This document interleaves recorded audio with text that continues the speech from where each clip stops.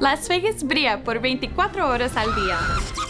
En la noche de Halloween es mejor estar en sus hogares a las 9 de la noche, por su bien. Oh, mis chiquitos, ella no es divertida. Empieza la noche de Halloween temprano. Y jamás camine solo. Antes de cruzar la calle, siempre mire por los dos lados. Solo visite casas con las luces prendidas. Y acuérdense de estar en sus hogares a las 9 para un Halloween divertido y seguro.